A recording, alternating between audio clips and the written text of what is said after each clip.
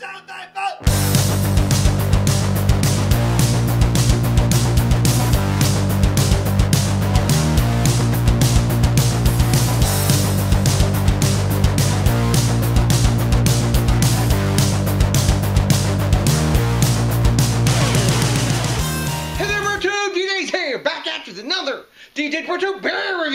time to dive into yet another beer from Firestone Walker Brewing Company out of Paso Robles, California, US of A. Yay, yay! And what beer do we have from them today? We have another beer from their Leo versus Ursus series. It is Wookus. Wookus is what? A black DIPA. And you're saying, hmm, this rotating serving that clocks in at 8.2% ABV and between 50 and 100 IBUs sounds like a beer that I remember before. That's right, maybe Wookey Jack? Hell yes, because this beer, I guess, is sort of kind of inspired or built upon the base of Wookey Jack. The only thing I know that this has in common with Wookey Jack is that it has rye malt in it. Wookey Jack back in the day, I don't know if they ever put did it in 12 ounce bottles. I don't remember. I always had it in bombers, but whatever. Now it's in cans. So you know what? Time to crack the top on this exceedingly fresh beer. Get it in the IPA glass because it's black, but it's an IPA. Ah, that sounds awesome. I haven't had one of these for a while. You know what? Enough waffling on. Let's crack the top.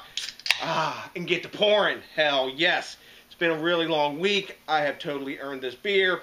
And, no, maybe I didn't. No, yes, I did earn this beer. Yes. Oh, look at that. Damn, this has got a lot of head to it. And I was not pouring it that aggressively. However, this is a nucleated glass, so it's going to produce head whether you like it or not. So, let's talk about the appearance. It's a really, really dark brown, I guess, garnet color. It probably looks black, definitely, to you guys on the camera, but there is some red glints coming through the stem of the IPA glass here. We've got a solid four finger head because I poured it like an animal, and it's got a lot of carbonation. I can see tons of bubbles coming up in the bottom pretty much super tightly packed bubbles, a little soap sudsy here and there. They are that sort of chocolatey kind of color when I swirl it.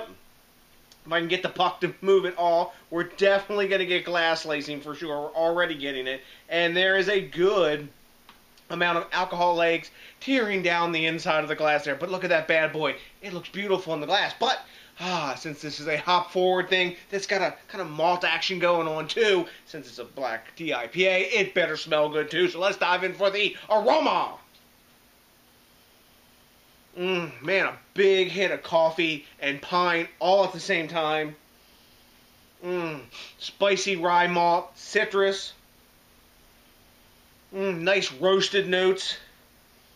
This really reminds me of uh, Wookey Jack, but amped up and more bright in the hop department than I remember that beer being.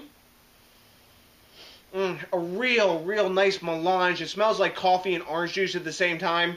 Wow. Almost like a coffee IPA in some ways, but this one's got color to it, unlike the coffee IPAs. Mm, this smells freaking delicious, man. Not super complex. You know, you got pine, resin, dank, citrus, coffee, roast, yum, malty action, and spicy rye. Hell yes, let's dive in. Cheers!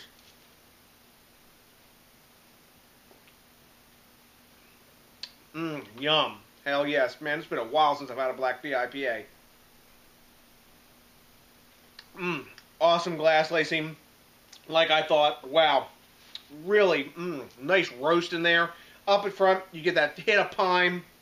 Like if you had your eyes closed and took that first drink, you get a nice hit of pine, citrus zest, mm, some dankness, and then in the middle, the coffee and the roast and the spiciness from the rye starts to play. That spiciness I get the side of my tongue. Man, the 8.2% is completely hidden, super smooth, actually crushable at 8.2%. No warming in the chest. And I'm drinking this, you know, kind of like dungeon temperature. It's probably like about like 50 down here, which I think is probably about the right temperature for this. Mmm, man, nice roasty notes. This is a real black DIPA. It's not a hopped up porter or hopped up like American stout. It is definitely a black DIPA. And, you know, Wookey Jack was that too, but I think this is more towards the IPA spectrum than Wookey Jack was. Wookey Jack had more roasty notes and maybe a little more rye than this does, but just the same, super, super tasty. So, boom. Let's talk about grading this beer. At time of recording, Beer Advocate gives this beer a 4.36 out of 5. So that's definitely into their, I'd say, super high A minus to A range for sure.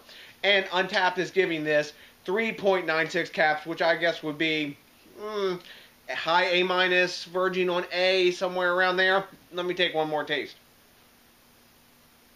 Mm.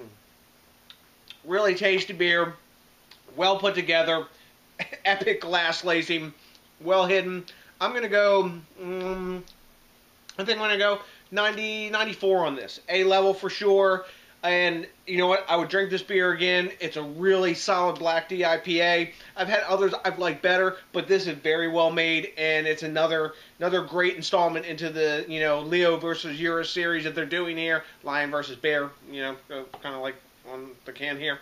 Anyways, but super tasty beer. So, have you had Firestone Walker's Wookus? If you've had Wookus, let me know what you know because I like to quit pro and the back and forth. If you have good memories of, you know, Wookey Jack, let me know about those too.